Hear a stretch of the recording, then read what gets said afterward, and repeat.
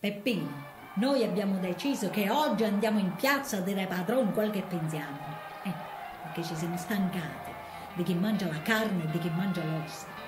Ma noi, Peppino, manco l'ossa ci hanno dato, manco l'ossa ci hanno dato, e che sangue di Giuda!